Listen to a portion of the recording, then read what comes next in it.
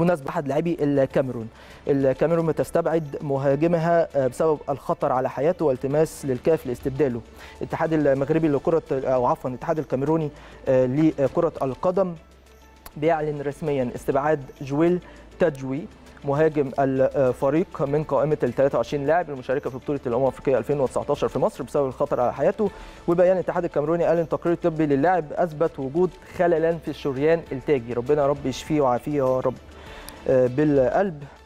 فبالتالي المهاجم معرض للخطر وحياته معرضة للخطر في حالة مشاركته في المباراة أو في حالة عمل مجهود زائد. وطبيعي الكرة بتبقى عايزة مجهود كبير جدا. فبالتالي الاتحاد الكاميروني بيحاول إن هو يدي التماس أو يبعت التماس للاتحاد الأفريقي باستبدال هذا اللاعب ويحل محله لاعب كاميروني آخر. والتقارير كلها أثبتت إن اللاعب كان بيشتكي أو كان عنده مشكلة في الشريان التاجي بالقلب. فنتمنى له إن شاء الله ألف ألف ألف مليون. سلامة.